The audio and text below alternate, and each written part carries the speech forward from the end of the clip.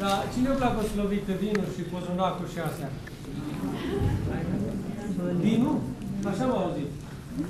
Vinul el l-a blagoslovit? Cine mă pără? Ce zis vinul? Domnule Barba, am... Așa nițel har pe acolo mai găsesc și eu câte o leagă? Dom'le, hai, ia să încerc. Așa, așa au făcut vinul, de ce l-au blagoslovit? Bine ați venit? Ah, de serviço, serviço, serviço. Ótimo,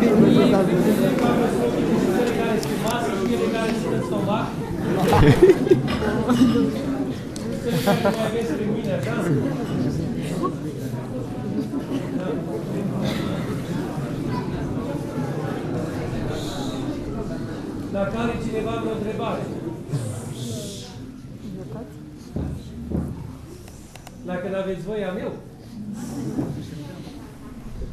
Da, dar trebuie să mai degrabă să vine de la voi decât de la mine. nu e așa? Îi primis la anul? Da? Cât sunt de la Chișinău? Cât sunteți de toți? 35. Bravo! Bravo, felicitări! Este că au cântat cel mai frumos, nu? Da. Dăm premiu. Da, bă. Dăm premiu.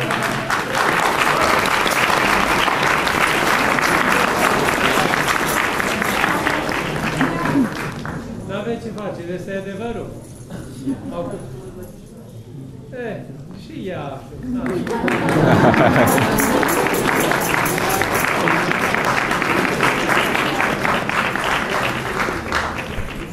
Hai să acceptăm cu cânta și ea și o frumușeală, așa o țărică, având în vedere că mi se rădăcine pe acolo, pe undeva. Pe malul Varlui, nu, pe undeva pe acolo. Da. Deci cine are o întrebare? N-are nimeni nicio întrebare? Ia să vedem. Cum, n-aveți frământări? Niciunul? Voi cum? Hai, Moldoveanco, ia pune întrebare.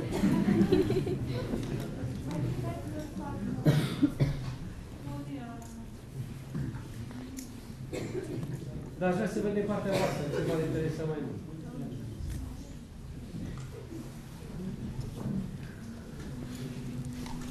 Că eu sfaturi tot am dat la biserică, nu? La biserică și aseară, mai ca seară trebuia să stau cu ceasul în mână și eu s-a ascuns acolo după cruce, că la 12 fix trebuia să închei. Și am acum 12 minute, eu care de felul meu cam vorbesc.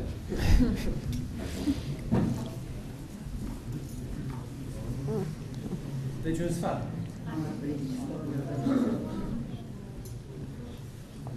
Ce e esențial în viața noastră?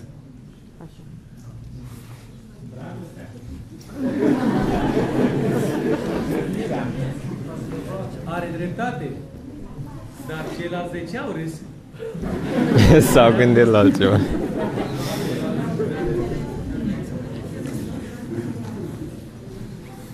Aia care au râs probabil sau- sunt îndrăgostiți. da? Dragostea, într-adevăr, e cea mai mare virtute. Dar eu pun și o întrebare. Poți să iubești fără ca să te smerești? Deci avem nevoie de smerenie. Deci, e un cuvânt la părinți care spune așa. Și că dacă vrei cu adevărat ca să-L iubești pe aproapele tău, trebuie să te smerești mult. De ce? Pentru că trebuie să te pui în stare de jertfă față de El. Să ierți greșelile, să ierți toate greșelile și să știi totodată să te faci pe tine mai mic decât El. În momentul când te-ai făcut mai mic decât El, de pe atunci reușești ca să-L iubești cu adevărat pe El. Să-L vezi pe El mai bun decât tine. De ce părinții au spus mereu cuvântul acesta? Deci că uh, să vezi pe toți sfinți și sfinte și așa te mântuiești. Deci dragostea e cea mai mare dintre toate virtuțile. Dragostea și smerenia merg împreună. Dar fără și astea, fără de răbdare, nu se poate. Și cu răbdare. V-am dat un cuvânt. Spuneți-mi ceva cum să combatem egoismul din ziua de azi. Da, egoismul este o racelă, dragii mei. Este o boală care a, pri- a cuprins în ultima perioadă foarte mult omenirea. egoismul. Uh, mă uitam într-un album publicat de familia Noica, a lui Nicolae Noica, uh, unde își prezintă familia lui de moș strămoș și merge până pe la 1800, cred că mai înainte de 1800. Și dă fotografii acolo diferite, diferite generații. Dacă e să vă uitați, să vedeți și voi sau să vă căutați acasă când vă duceți, la bunica, la bunicul, la mătuși, căutați fotografii vechi. Și uitați-vă la chipurile oamenilor de, alt, de altă dată. Și să vedeți ce oameni frumoși și senini. Ce oameni veseli erau. Pe fața lor era o lumină, o bucurie. Ceea ce în ziua de astăzi aproape că lipsește. Stăteam într-o zi, așteptând pe cineva la București, undeva acolo la parterul unui, unui bloc, și mă uitam pe stradă cum treceau uh, creștinii. Era chiar pe bulevardul Victoriei. Și treceau oamenii grăbiți și la deal și la vale, toți triși, crispați.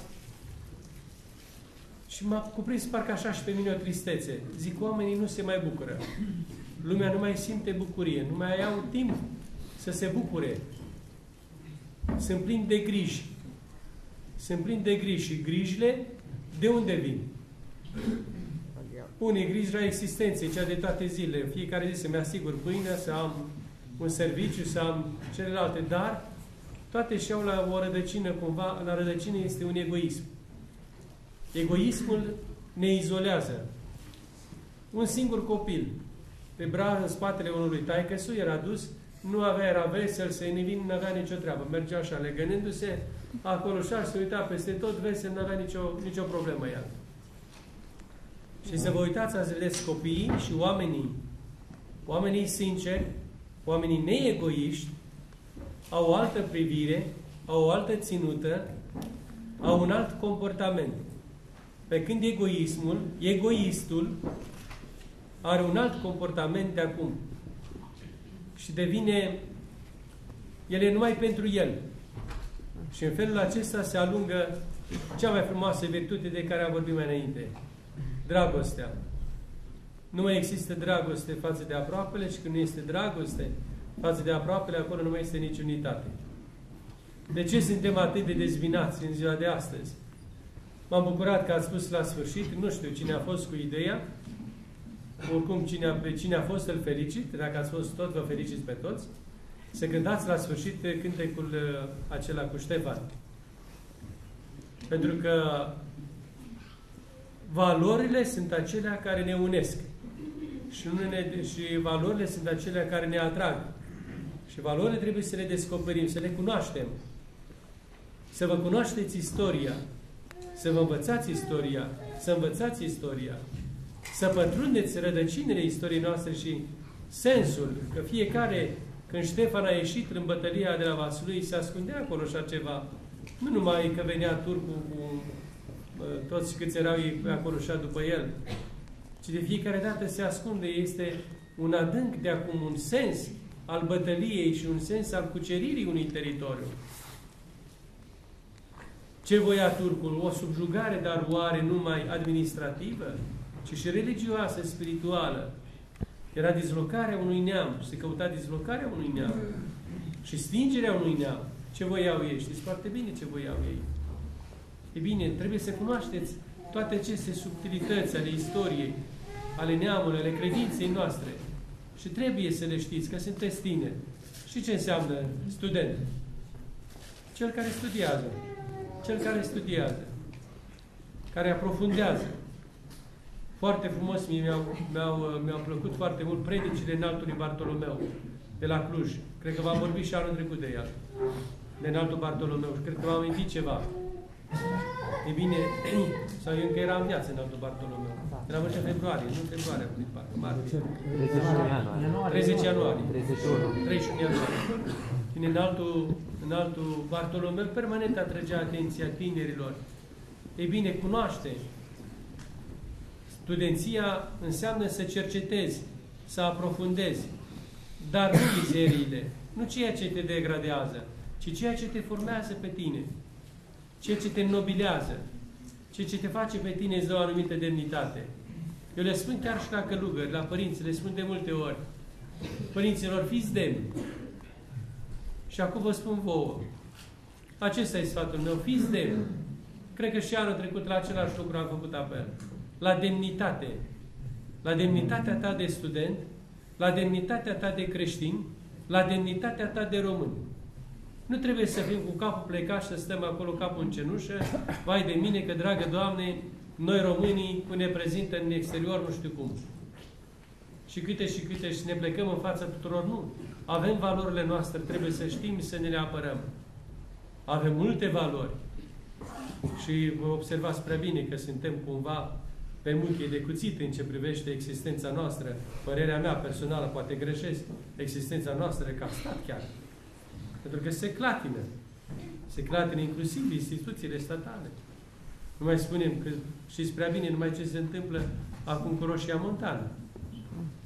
Unde acolo este un patrimoniu.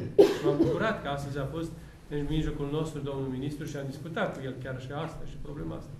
Și să-l pomenim, să-l pomenim la rugăciune, că este un apărător al valorilor noastre spirituale, naționale. E bine, suntem acum cumva pe muchie de cuțit, suntem cumva acum așa mai la margine și dați la margine, dați la o parte. Dar avem atâtea valori. Și nu, mai e, nu e suficient să apelăm la ele, ci noi, voi, în primul rând, prin însăși existența voastră, sunteți o valoare. Și fiecare acolo unde e, să-și facă datoria conștiincios și să-l îndemne să-l tragă și pe cel de lângă el. Nu avem prea multe, nu avem bogății, nu avem nu știu ce. O bucată de pâine o împărțim în două, în trei, în patru, în zece. O împărțim, o, o, o mâncăm pe ceea împreună și muncim mai departe. Fără de muncă, dragii mei, nu se poate. Fără de muncă nu putem. Trebuie să muncim. Ca ați văzut, au fost date pe parte toate Că s-a trecut munca, știți așa, pe al doilea plan, pe al doilea, pe al treilea loc, okay, acum așa, să, dacă putem să păcălim pe celălalt. Nu. Datul scripturistic este limpede clar. În sudoarea feței îți vei câștiga pâinea. Și o mamă, prin naștere de prunci, se mântuiește. Ei bine, voi veți ajunge și voi la rândul vostru să vă căsătoriți. Fiecare acolo unde veți fi, domnule, să muncim cu drag, să facem cu drag, pentru familie, pentru neam și să nu fiți egoiști. Să știți să dați. Că veți primi însutit înapoi. Să știți să dați. Să știți să dai. Cu cât știi să te jertfești mai mult, cu atât ți se dăruiește mai mult. Cu atât primești înapoi mai mult. Și aceasta nu e doar numai o teologie și filozofie creștină.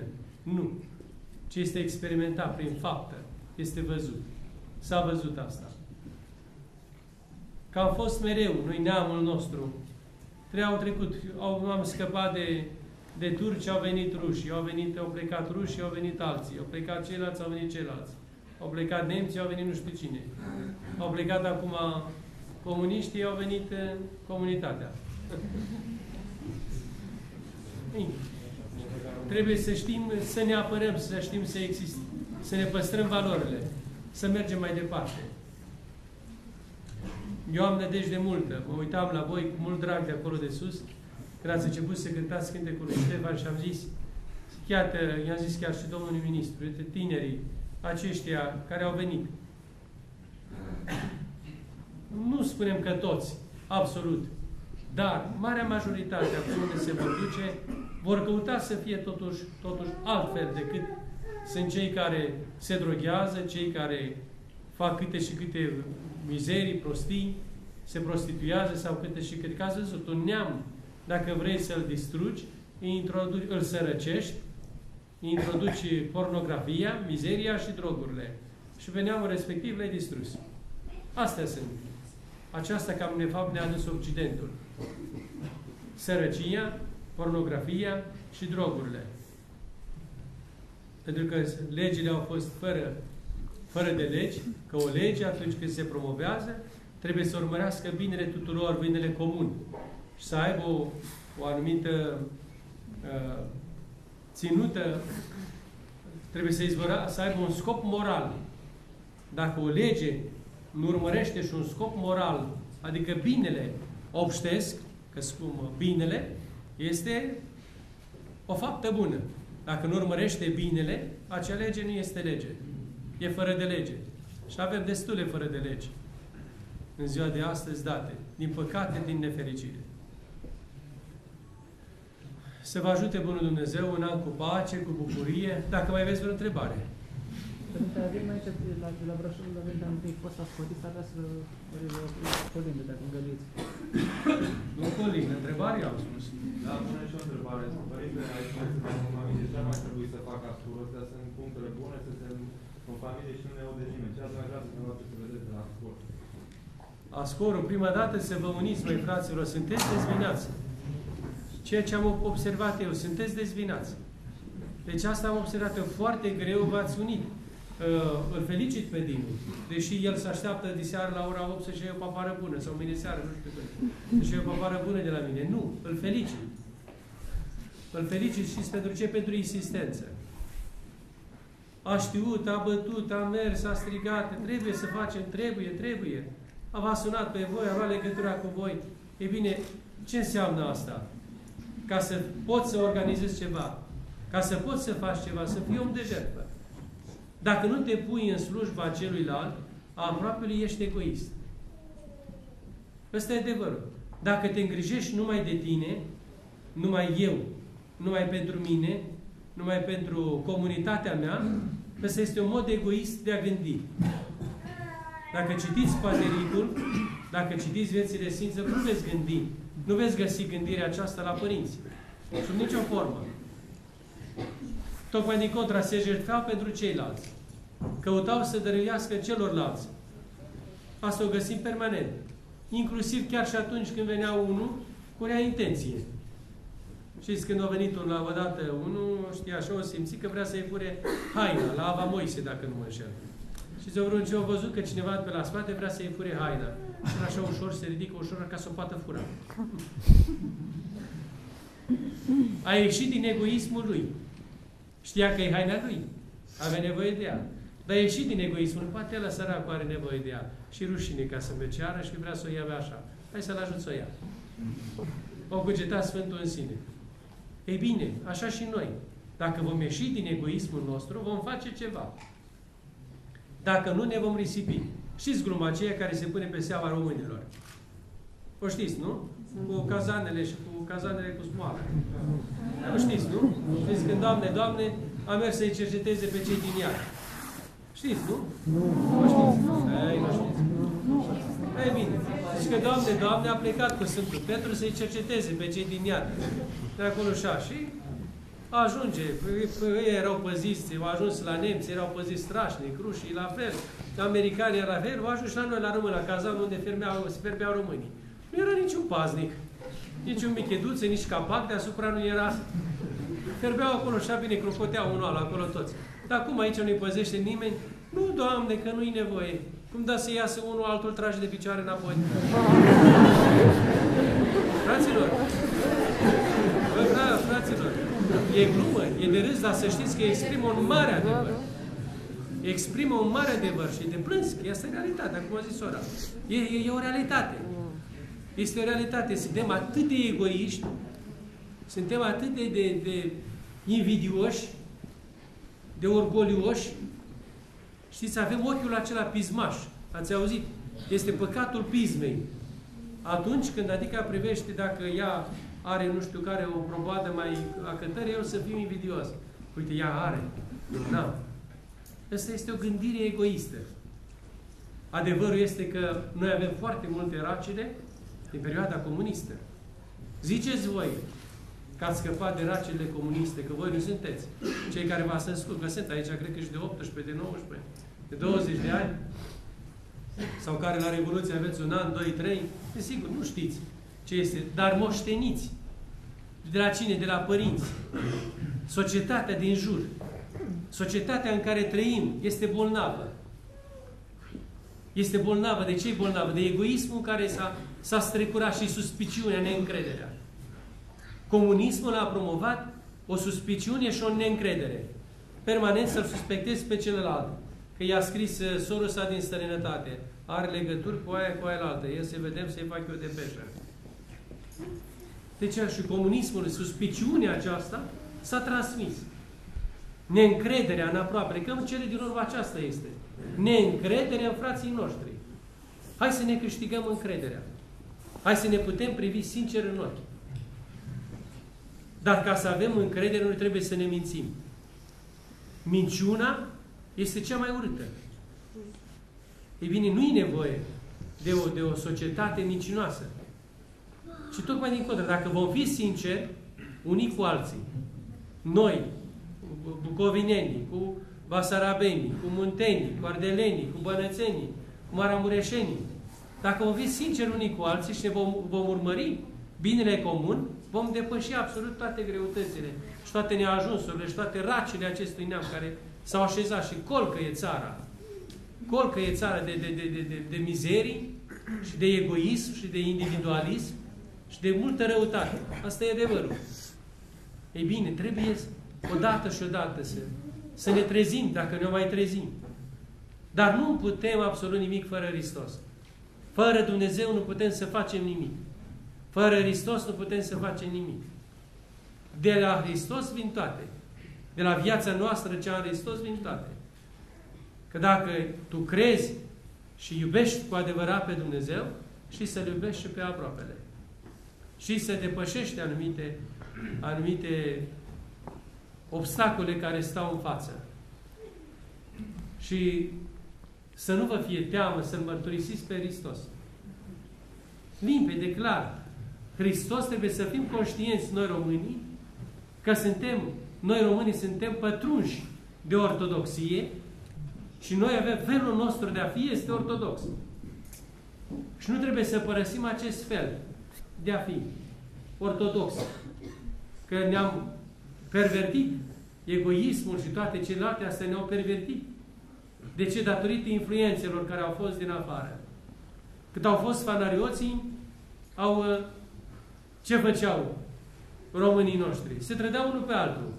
Pleca cu căciul la mână la Istanbul, ducea, ducea acolo un peșcheș draven, la Istanbul și, domnule, vezi că boierul ăsta, domnul ăsta, parcă nu prea te mai slujește așa, poate mă pui pe mine. Și asta moștenim. Au venit după aceea, după ei au venit perioada în Moldova, au ținut partea Basarabiei, chiar și partea Slantă, cu cu regulament organic, când au venit rușii, după aceea când au venit mai târziu, când au venit de acum perioada slantă comunistă, care și ne-am, ne-am învățat pur și simplu să ne furăm căciula unul la altul și să fim egoiști. Nu. Trebuie să fim demni. Cum spunea cineva, trebuie să ne dăm masca deoparte. Identitatea noastră, ființa noastră, nu ne putem noi afirma decât numai și numai punând accentul pe valorile noastre, spirituale, culturale, pe Dumnezeu. Fără Dumnezeu nu putem face nimic. De ce? Pentru că am fost plămădiți și suntem plămădiți, suntem din Dumnezeu și ne întoarcem în Dumnezeu.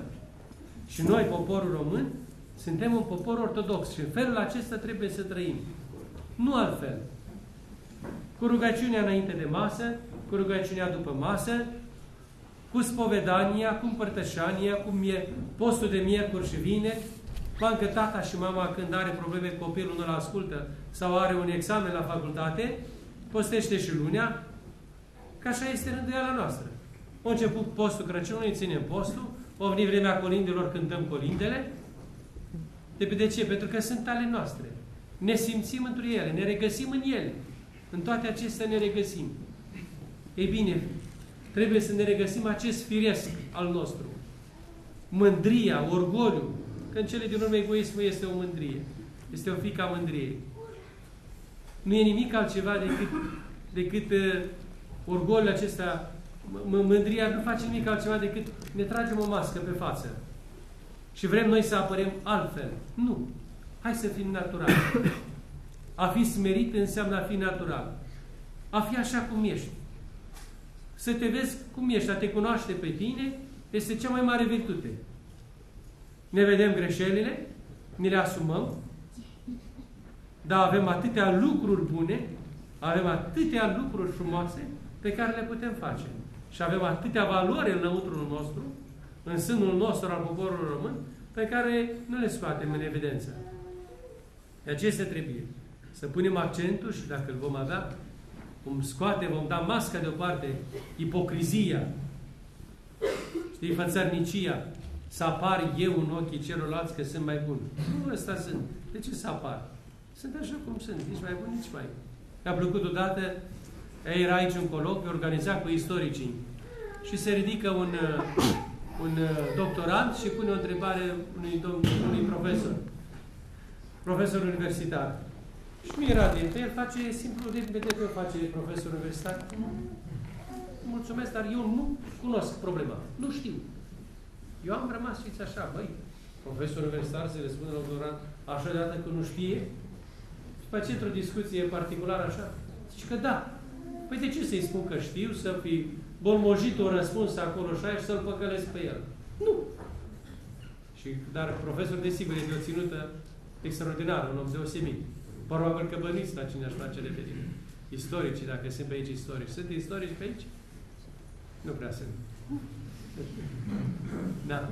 Deci, deci fraților, să știm să ne, să ne apărăm, să fim, să ne, să ne cunoaștem pe noi. Dacă ne cunoaștem, tare bine este.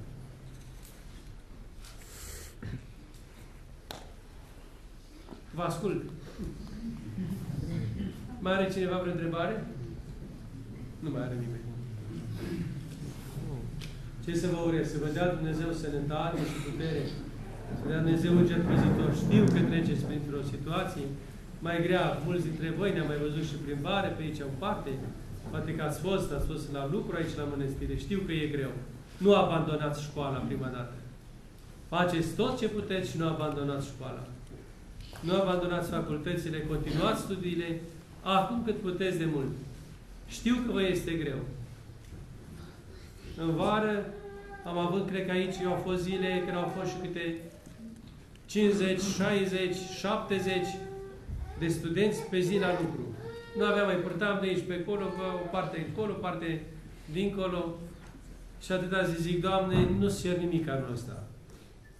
Dar atât. Să-mi dai ca să am de unde să dau.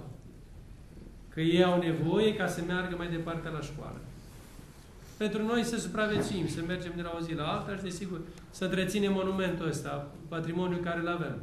Nu să mai investim, că e greu ca să mai investești în ziua de astăzi. Trebuie mii de îți trebuie proiecte și aprobări. Sute și zeci de aprobări îți trebuie să.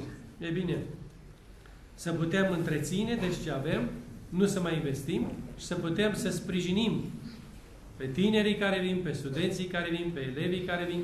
Foarte mulți liceeni au venit, cei care au terminat, care au dat uh, bacaloriatul și nu l-au luat. Care, pentru că știți ce a fost a noastră la bacaloriatul, parte s-au trezit deodată că, domnule, este că n-am un viitor, n-am o țintă, n-am o direcție unde să o iau. Și am, așa am avut foarte mulți, foarte mulți tineri, am avut aici prezenți la noi. Au fost. Să vă ajute Bunul Dumnezeu, încă o dată vă spui, să puteți să vă terminați studiile, și să nu renunțați. Să nu le abandonați. Faceți-vă și faceți-vă voi licențele. Mai aveți, este și ispita asta printre voi. Știu asta. Se cumpără licențele. Așa e. Ba de la unul, ba de la altul, ba ți-o de profesorul și contractul, nu știu ce. Ea spune, e bine, atunci nu sunt nici student, nici absolvent de facultate. Dacă eu accept așa ceva. Ăsta e un compromis. Deci nu acceptați compromisul în viață să nu acceptați lucrul ăsta. Adică cum? Eu nu sunt în stare să-mi întocmesc o licență? Eu nu sunt în stare să-mi fac o lucrare de seminar? Dar de ce să nu mi-o fac? Da, slavă Domnului, mintea Voință am, ce, nu pot să iau cărțile să citesc? Decât să mă duc să pierd timpul, mai știu eu pe unde? Trebuie să fac ceea ce este al meu de făcut. Acum să studiez.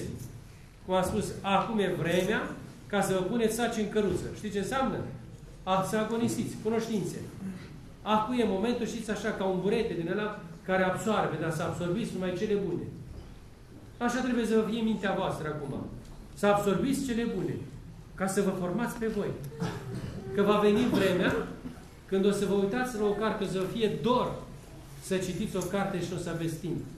Pentru că se tragă copilul de poale, o să mai fie du și vezi că trebuie să și gătești, Vezi că a sosit ora, trebuie să duci la serviciu și celelalte. Și trebuie să și dai. Adică să dai să mai faci câte ceva și altceva.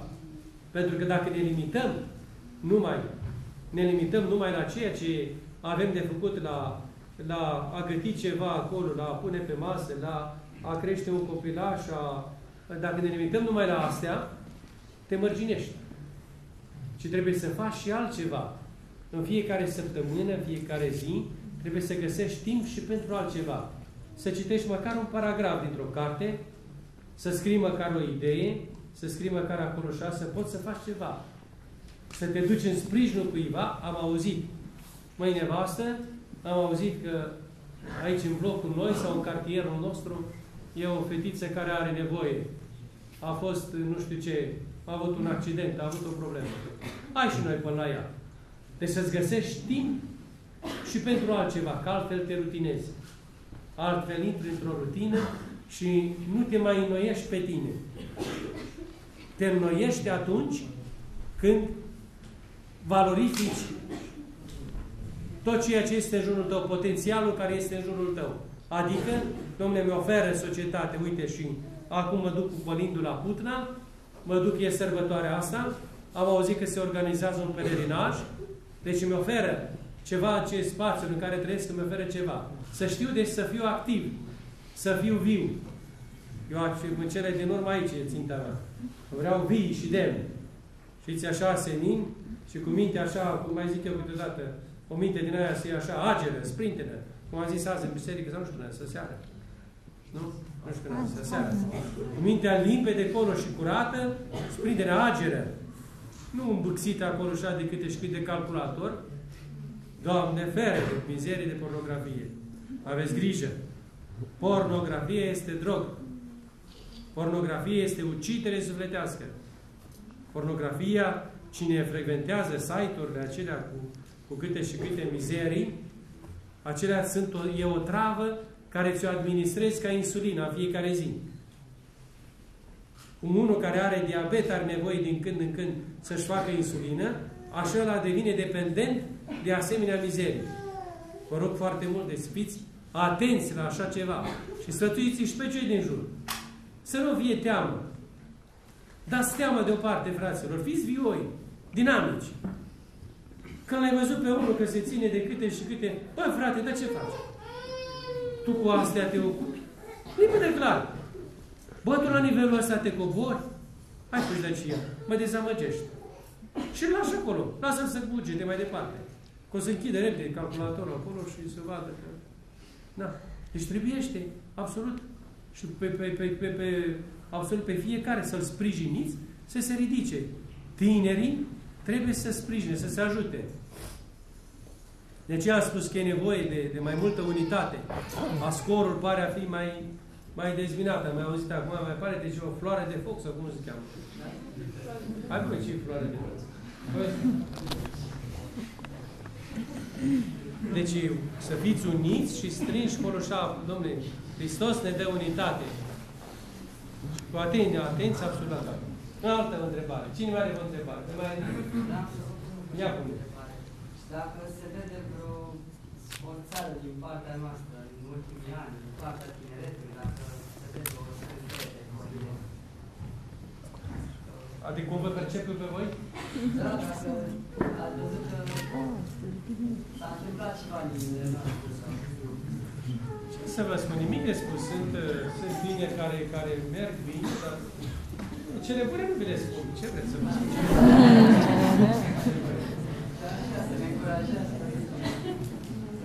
Păi dacă, dacă eu vă laud pe voi, e ca și cum aș coborâ standul, știți? Dar eu trebuie să urc ștacheta tot mai sus, ca voi să vă țineți. Tu să urci voi tot mai sus, să urcați. nu e așa? Asta e realitatea. Altfel mi-a pierdut rolul de părinte. Că este adevărat, așa e, nu e așa? Hai! Nimic de spus. Scorul, totuși, cred că în anii din urmă a fost mult mai unit. Au fost poate și evenimente care au mobilizat o leacă la scorul. Uh, și eu mă gândeam, poate anul ăsta, să mai facem ceva. Așa, cu 20 de ani. Tu vrei să te pozezi cu mine asta. cu, uh, se- cu 20 de ani acum de la canonizarea Sfântului Văivod Ștefan. Vom vedea ce am putea, ce am putea să face. Voi atunci sunteți în examene. Discutam chiar cu un părinte de aici din apropiere, mi-a plăcut, are mult ideea pe care a avut-o în altul Teofan cu, la, la, la Nemțișor acolo. Nu ați fost careva acolo? Da. Ați fost? Da. Da, am vrea așa ceva să, să vedem. Ne-a, a venit un părinte de aici din zonă și ne-a, ne-a, dat, ne-a dat ideea. Ne-a vândut, uh, cum se spune, patent, nu? Pom. Pom. Așa. Uh, Noi avem aici, în preajma mănăstirii, dar vă știți foarte bine, ați dormit acolo, la bivolărie. De școala specială la bivolărie avem niște spații uh, foarte bune și să vedem, poate putem organiza pe vară o, o tabără. O tabără tot așa, de aici fiind în preajma mănăstirii, acolo fiind spații, cantine, cu conferințe, cu, se poate chiar acolo organiza și se poate face ceva frumos, o manifestare frumoasă uh, ortodox-românească. Uh, nu trebuie să ne... Și încă un lucru de acum, trec la alta, care mi-a venit în minte. Naționalismul nu este învechit. Că vin uh, acum unii și spun, a, ăsta e naționalist. Uh, Este din ăla, a, și, și imediat el duce, te trimite cu mintea că, dragă Doamne, în vremea comunismului, că numai atunci oamenii erau patrioți și naționaliști. Hai să fim cuminți. Adică am iubit valorile și am apreciat valorile mele, am le scoate în evidență, ăsta e un naționalist rău, tocmai din contra. Este un naționalist constructiv. Îi arăt și dumnealui de unde ești de loc? Brașov. Brașov. Îi arăt și dumnealui de la Brașov, așa, că uite, eu la Putna, uite, am tetra Evanghelului iar de la Humor, uite, am epitafurile astea, uite, le-am astea încă de la am turnul tezaur, am atelier de pictură, așa, frăția ta cu ce vii? Și uite, auzi, a, de la Brașov. Uite, vezi? Și în felul ăsta, deci eu mă duc, eu mă duc cu pachetul meu, vine și el cu pachetul lui. Și în felul ăsta ne cunoaștem. Deci asta este, până la urmă, ați iubi valorile și ați scoate în evidență valorile tale. Deci să nu fie teamă de ei care mă menuiesc ca ascorul. Știți? Și pune amprentă acolo. Fundamentaliști, știți? Eu ați mai pățit și așa, nu? Da, talibani, nu? talibani, da. Nu trebuie să vă speriați când auziți așa ceva și gata să dați înapoi. A fi ca ei e greșit. Ei să fie ca noi. Ei să străduiască, ați iubi valorile, ați aprecia valorile, a fi cu demnitate, a fi creștin, a te putea privi în un ochi cu celălalt, adică a nu fi un micinos, a nu fi un fățarnic, astea sunt valorile. Nu altceva. Celelalte nu sunt. Azi îl servă pe Sfântul Vasile cel Mare. Am urat la, la oaspeții noștri nimic altceva, domnule, să urmați pe Sfântul Vasile cel Mare. Absolut în toate. Demn. 49 de ani și s-a trăit Sfântul Vasile cel Mare. De o demnitate și o verticalitate extraordinară. Un fast la slujbe extraordinar de mare. Dar era spre slava lui Dumnezeu. Ce era? Că ce este? Este podoaba bisericii. Este podoaba casei lui Dumnezeu. Ce spune? Spune într-o rugăciune și sfințește pe cei ce iubesc podoaba casei tale. Dumnezeu îi sfințește pe aceia care iubesc podoaba casei lui Dumnezeu. De ce? De ce fiecare acolo când se construiește o biserică sau se face o icoană sau se, se cumpără un acoperământ la Sfânta Masă sau un acoperământ de tetrapod, acolo și vrea ce fiecare să contribuie. De ce? Pentru că e podoaba casei lui Dumnezeu. Ei, când îți iube, iubești podoaba casei lui Dumnezeu, ei, Sfântul Vasile iubea în mod deosebit. Podoaba casei lui Dumnezeu, bisericile, frumos, cortegiu, preoți, veșminte, toate, străluceau în jurul Marelui Vasile. Și spune Sfântul, uh, Sfântul Efrem Siru, știți că au auzit de el. Știți întâlnirea dintre Sfântul Efrem și Sfântul Vasile? Da. O parte o știți, o parte nu știți. Cum facem? Cei care o știu să le spun la cei care nu știu. Știți, mare fast acolo și au auzit, au auzit Sfântul, Sfântul Efrem din ținuturile lui, de acolo din Siria, au auzit de, de Vasile. Cât de mare, ea se apropie, se duce să-l vadă și el. Și când stătea acolo și un smerit călugăr acolo și aia, Unde cu stănicot?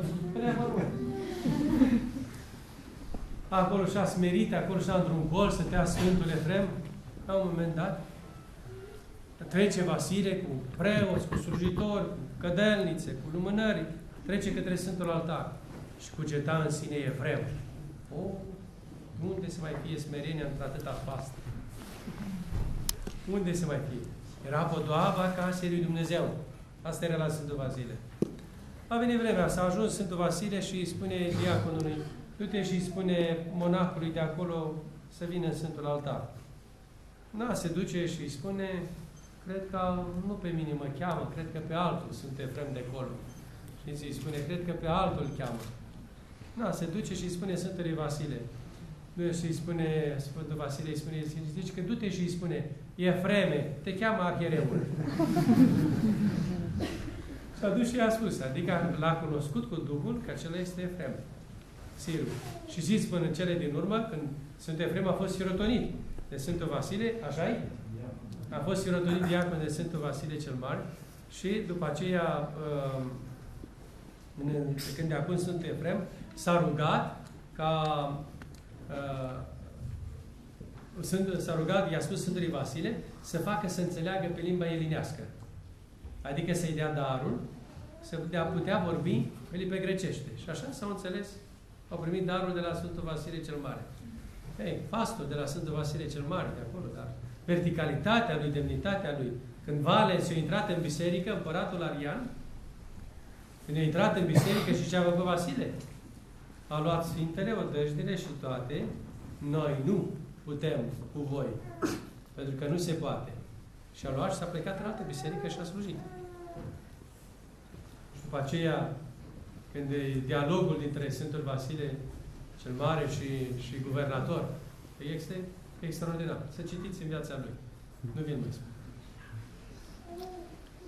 Mai are cineva vreo întrebare? Părinte Stareț, ce atitudine să luăm noi tinerii față de cei ce ne atacă? Mai de rang înalt, așa. Acum când la studiez la tăia și cupoanele de reducere. Deci puțin, dar pentru noi facem mult. Deci la ce te referi? Te referi la ce, la, la ce fel de atac? Păi, din toate punctele de vedere. În primul rând că ne taie dreptul, ne taie... De la drepturile voastre, studenții. Ce e atitudine și ceilalți se împotrivesc agricultorii într-o anumită Lașitate. E lașitate. Din acel egoism. E nimic, nu e acelea atunci este un egoism. Nu e vorba de, de răzvrătire. Drepturile voastre vă trebuie să le apărați. Drepturile voastre studențești trebuie să le susțineți. Nu sminteală, categor, dar cu, bună, cu respect, cu bună cuvință, îți prezint că aceasta este situația. Îmi pare rău, dar dumneavoastră aici greșești. Știți cum odată într-un dialog între doi istorici, aici la noi, știți, se ridică uh, unul susținea lucrarea lui și se ridică celălalt și că îl contrazice, dar cel așa mod politicos. Zice că, domnule, dragă prieten și coleg, unul din noi aici greșește și acela nu sunt eu.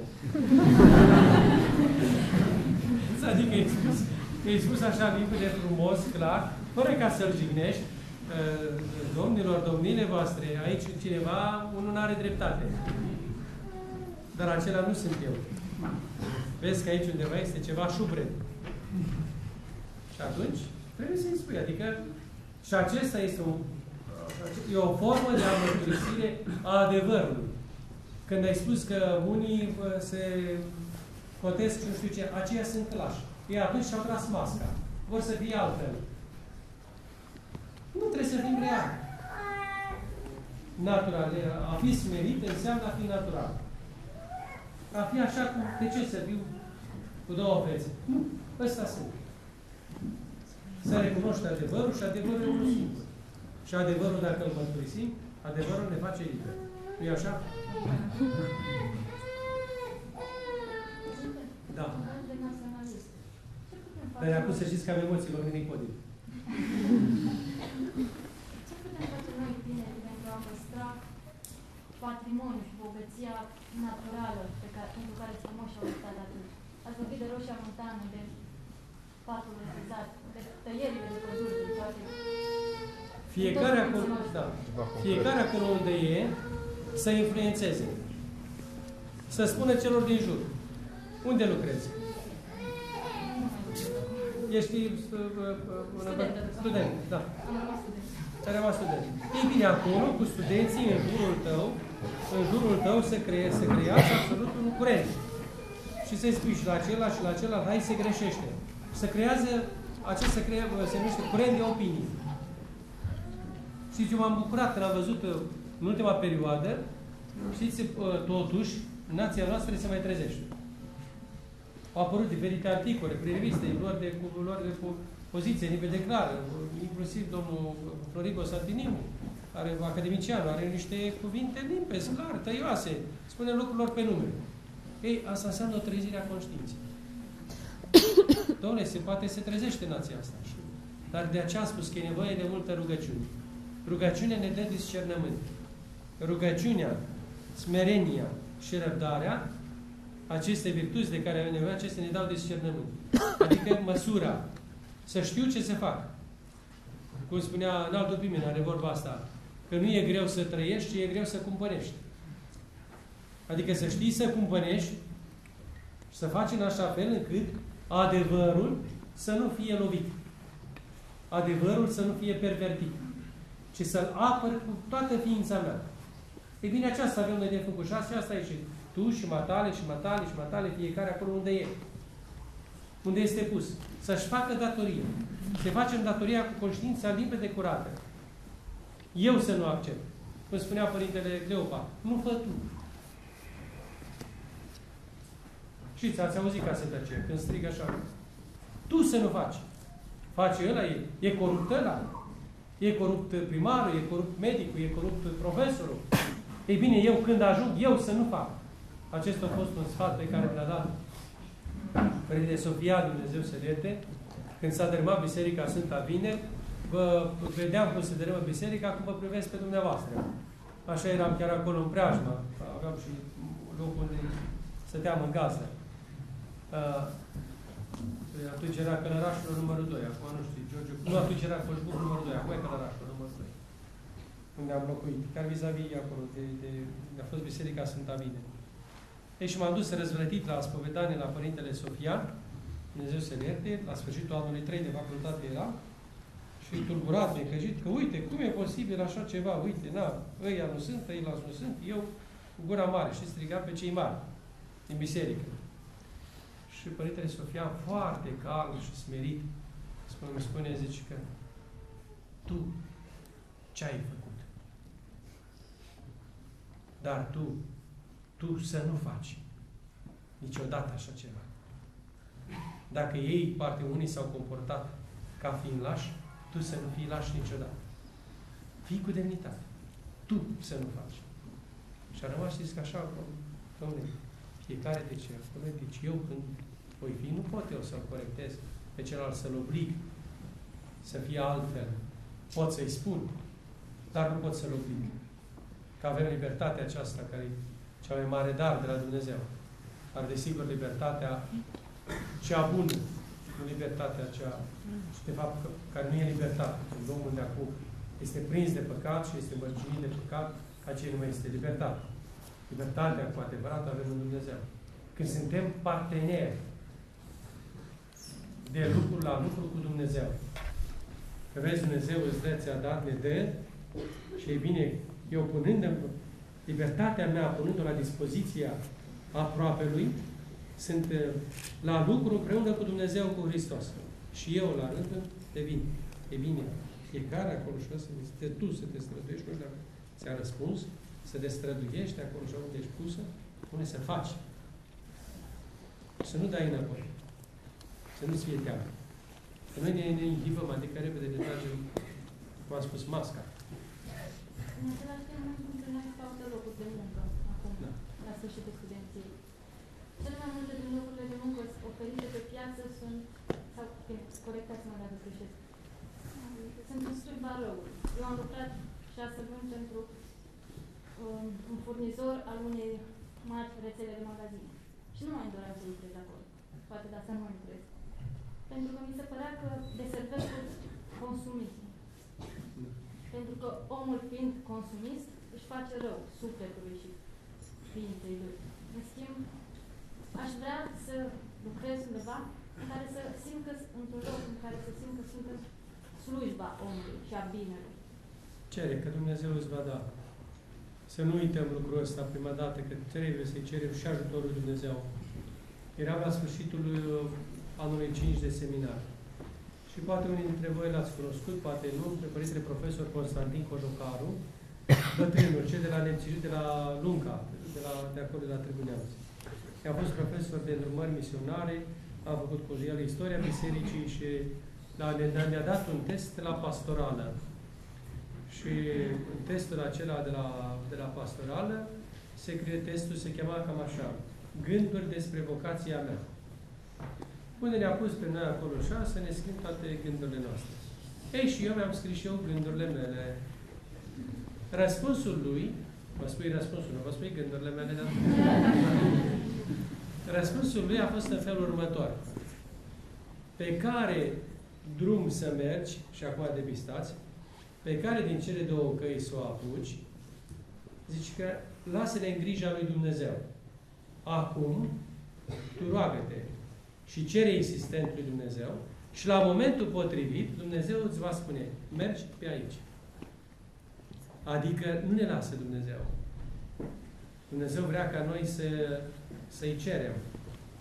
Și El ne dă. Este imposibil.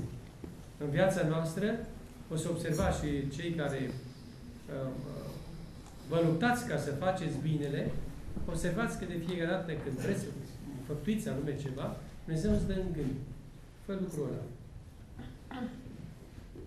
fă în felul acela. După aceea, dacă stai, te gândești, vezi parcă parcă l-aș face altfel. Dacă mai stai, te mai vine și el, mai vine și el, mai vine și un altul, îl schimbi cu totul. Primul gând este de la Dumnezeu.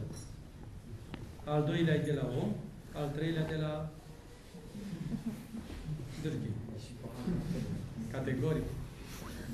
Acolo noi e altă, altă masă, altă casă. Deci, deci trebuie să, să știm, să avem, să discernem să te rogi un pic și Dumnezeu îți va da. Nu neglijați rugăciunea. Când am spus astăzi că rugăciunea e susținătoare a lumii, n-am spus-o eu, sunt Ioan, Ioan Scăraru. El o spune, Filocalia nouă. Rugăciunea este susținătoarea întregii lumi. Prima dată susține lumea, dar prima dată mă susține pe mine. Dă sens vieții mele rugăciunea și totodată îmi dă un echilibru extraordinar. Nici vă puteți imagina cât de, cât, de mult, cât de mult contează ca să vă citiți rugăciunea cele acolo din ceasul lor. Scrise, așa cum sunt acolo, puse acolo așa, una după alta, așezate în cursul istoriei. Pentru ceasurile zile. Vă amintiți de rugăciunile acelea? Și amintește careva cum începe? Doamne, Așa, hai zi tare, ce de acolo? Doamne, nu. Deci e, un, e, e ca și cum un permanent strici, bați la ușă. Ai bătut odată. Doamne, dăm lacrimi de pocăință. Doamne, dăm smerenie. Doamne, dăm-mi umilință. Doamne, ajută-mă. Doamne, binecuvintează-mă. Doamne, și permanent acolo. Permanent e ca și cum ai ține, ei, stai trează. Uh, nu te mișca, fii aici lângă mine. Nu te du. Stai aici. Cam așa facem noi cu Dumnezeu prin rugăciunea aceea. Ei, așa și fiecare dintre noi, când sunteți puși, cum ai spus frăția ta, termini.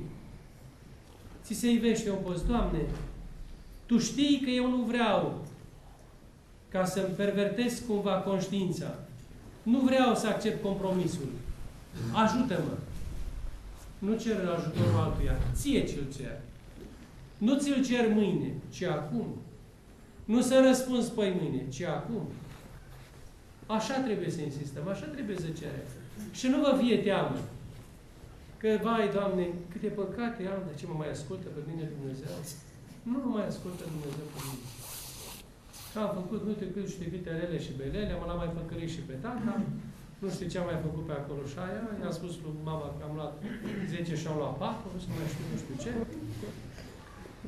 Și câte și câte alte pe acolo și aia, nu mă ascultă Dumnezeu pe mine. hai să trimit dupomele, ca să sun poate duhovnicul, să roage acolo. Nu, tu, singureal. Dumnezeu te primește așa cum ești. Dumnezeu te cheamă așa cum ești, te ascultă așa cum ești. Nu vă fie teamă. Nu vă fie teamă. Indiferent ce greșeală, indiferent ce păcat s-ar așeza între voi și Dumnezeu, nu vă fie teamă să bateți la ușa milostivirii lui Dumnezeu. Și să-i cereți lui Dumnezeu să vă ajute. Nu mâine, ci acum. Nu poi mâine. Nu, Doamne, acum dăm. Mâine e prea târziu. Dacă nu m-ai ajutat, e vina ta. Dar să știi să-i cer limpede și odată să fii încrezător. Îmi povestea odată Vlădica Estinian. O întâmplare. Uh, de aici o să înțelegeți ce înseamnă a bate acum și... Deci s-a dus o creștină la el și îi spune Prea Sfințite, roagă-te pentru mine că permanent mă cer cu vecina. Îmi face probleme și probleme și probleme. Bine. Se roagă prea Sfințitul, se roagă și ea, îi spune să se roage, mai trece un timp, iară vine. Prea Sfințite, mai mari probleme face. Nu mai știu ce să fac. Roagă-te mai departe. Insistă, prea Sfințitul, acolo și se roage mai departe, acolo și se roagă și el. Vede că un timp de acum femeia nu mai vine. Nu mai apare. După o pe bună perioadă vine aproape tremurând. Și prea sfințite, nu știu cum să vă spun.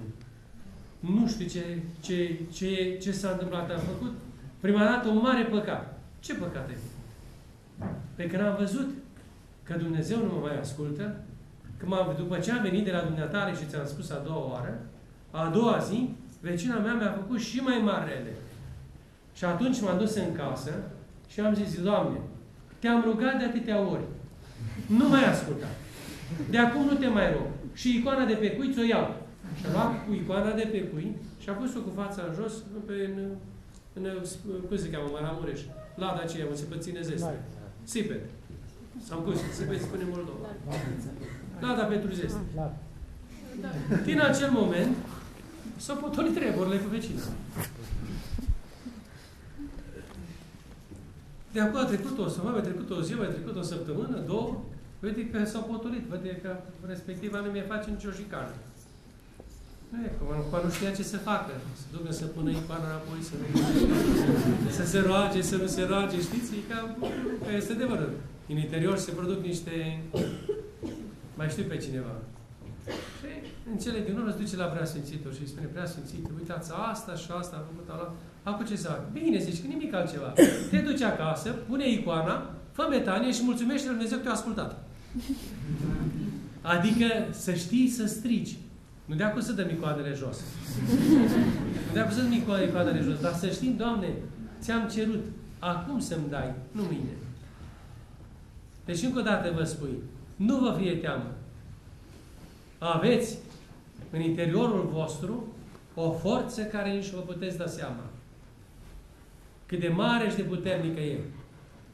E numele Lui Hristos. Sunteți creștini. Și nu orice fel de creștin. Care îl are pe Hristos și care are o credință, are o credință dreaptă. Nu vă fie teamă. Spune Sfântul Ioan Evanghelistul în epistola 1. 1 Ioan 4 cu 4, parcă. Cel ce este în voi e mai mare decât cel ce este în lume. E mai mare decât cel din lume, adică cel care guvernează și conduce. Deci cel care este în interiorul tău. Ei, căpătați-vă această încredere. Noi, românii, că este adevărul, în ultima perioadă bombardați din toate părțile, că suntem nu știu cum și nu știu cum și câte și câte, ne-a pierdut încrederea în noi înșine. Și dacă ne-a pierdut încrederea în noi înșine, nu mai avem încredere nici în aproapele. De aici a apărut de acum egoismul și suspiciunea. Absolut, să-l suspectezi pe celălalt. Nu. Recapătă-ți încrederea în forțele tale, poți să faci, poți să dai, poți să fii. Din momentul de față, eu pot să fiu un bun slujitor. Din momentul de față, eu, bun, eu pot să fiu un bun economist. Eu pot să fiu un bun profesor. Dar numai să vreau. Și dacă îl iau și pe Hristos în ajutor, Știți cum? Toate merg și toate sunt bune și frumoase. E tare. Mai are cineva vreo întrebare? Hai.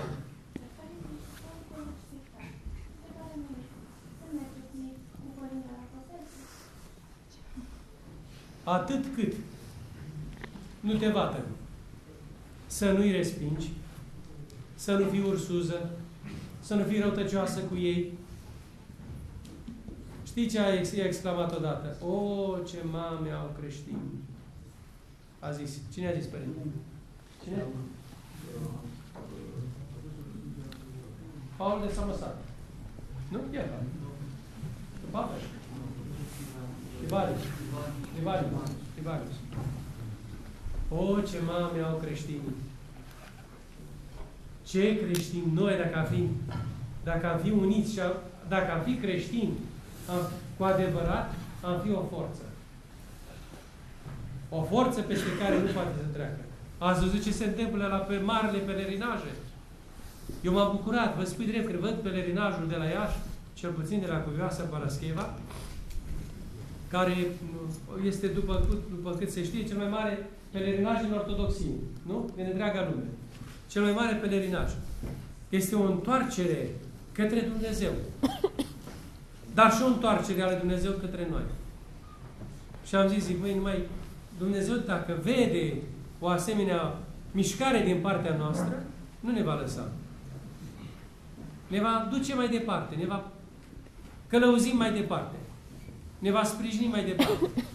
Nu ne va lăsa să ne risipim. E o jertfă pe care noi o facem. Ei, și totodată un exemplu pentru ceilalți.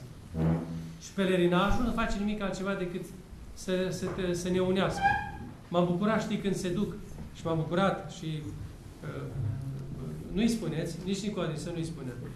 Uh, în al preasfințitul Teofan am auzit că anul acesta am mers nu știu câte ore și a binecuvântat pe toți pelerinii de la Cuvioasa până la ultimul care se așezase la rând. așa e?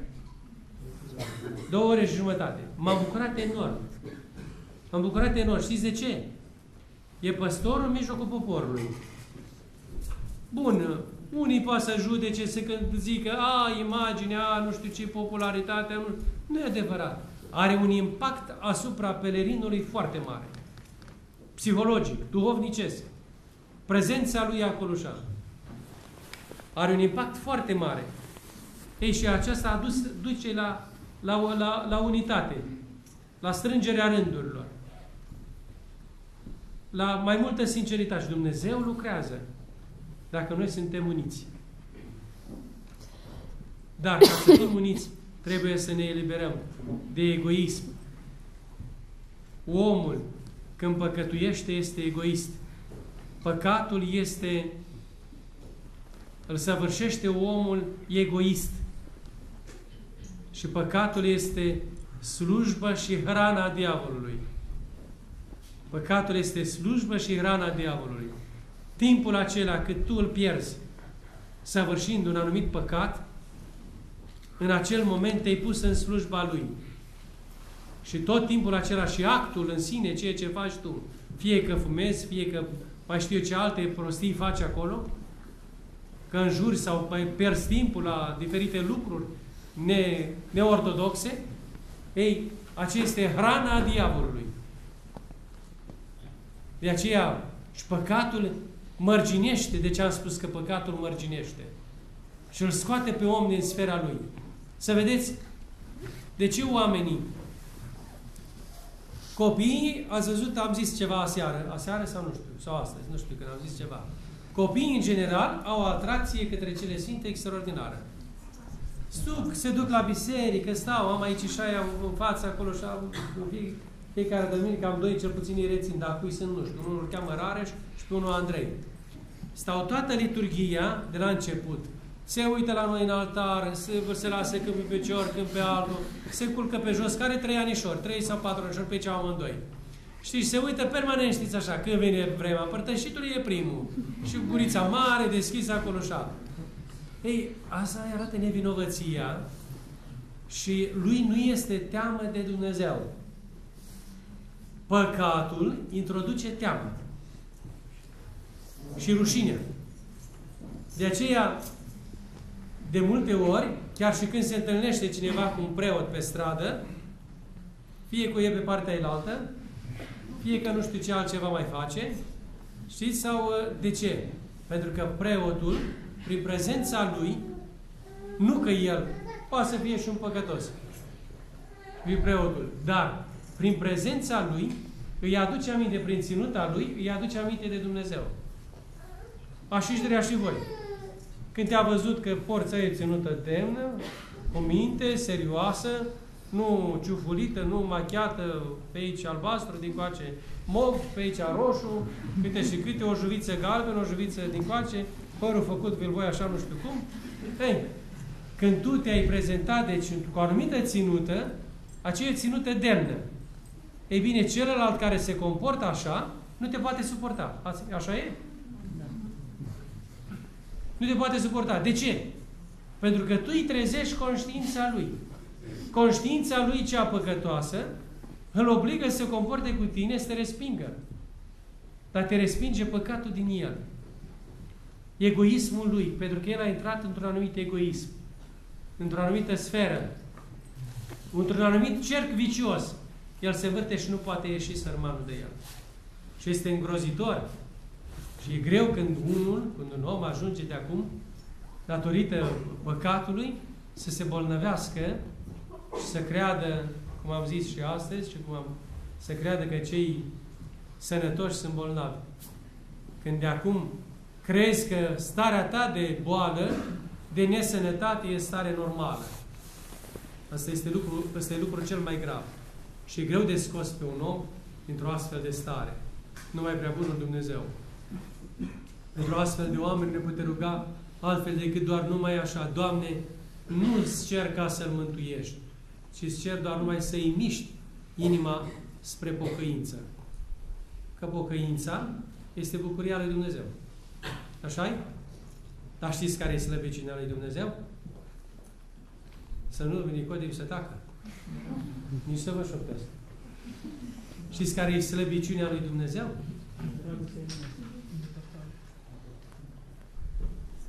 Psalmul 50. V-am ajutat? A? Zi tare. Asta e. Inima înfrântă și smerită. Dumnezeu nu poate rezista în fața unii inimi înfrânte și smerite. Nu se poate da deoparte. Zic că nu o ascult pe asta. Știi? Dar când ea vine cu inima ei înfrântă și smerită, acolo și Dumnezeu nu rezistă. Și am mărturie în Sfânta Scriptură. Am mărturie. Știți cu Iona? Știți, nu? Și cu cetatea Ninive. Da. Cunoașteți foarte bine. Aștepta Iona, s-a dus Iona. Vai de voi! Iadul vă așteaptă, mâine vine focul, vă arde, eu mă duc pe deal să stau să văd cum ardeți voi. Bine, și a trimis Dumnezeu în vreș și poporul ce a făcut? S-a căit. Ce a fost acea? Inimă înfrântă și smerită. Asta au făcut cei din cetatea Ninive. S-au îmbrăcat, cum spune Scriptura, în sac și în cenușă, nu? Adică pocăința. Părerea de rău. Doamne, am greșit, băi fraților, am greșit atât de mult înainte de Dumnezeu, uitați, mâine Dumnezeu ne, ne secere pe toți. Câte ceasuri mai avem? Mai avem trei ceasuri, este ce putem face. Hai, cu toții, fruntea jos. La pocăință. Doamne, iartă-ne. Și Dumnezeu a cătat cu miro, ochi milostivi. nu e așa? Și Iona acum stătea departe de acolo și a tot aștepta să vadă, hai, nu vine focul să-i secere pe de acolo din cetatea Ninive. Și Dumnezeu a trimis un vreș care a crescut, știți acela, un fel de umbrac. Îi ținea acolo și lui Iona, acolo ja, și după aceea îi trimite un vermișor să răteze pe ăla. Și Iona se întreabă, zic, cum, Doamne, acum mă lași, mă bate soarele, mă dogoare, și ți îți pare rău pentru vrejul ăsta care s-a uscat și mie să nu-mi pare rău pentru cetatea aceea? Asta a fost morala din partea lui Dumnezeu. Adică Dumnezeu cedează în fața pocăinței. Dar pocăința este bucurie. Pocăința poate la început cunoaște oarecare, cum să zic, frământare. E o anumită frământare, e o anumită stare de dezbucium până ce intri într-o anumit, într-o anumită, o anumită stare de echilibru. Ei bine, starea aceea de echilibru trebuie să o găsiți. Care înseamnă dragoste de Dumnezeu, iertare față de aproapele, răbdare absolut pentru toate și nițică rugăciune cu smerenie. Dacă le ai pe acestea, atunci ai intrat într-un echilibru al tău lăuntric și nu te mișcă absolut nimic. Nu te poate, nu te dă deoparte. Să ajute Bunul Dumnezeu ca fiecare să putem să dobândim, să vă gândiți, să vă rugați și pentru mine, să pot și eu să câștig nițică smerenie.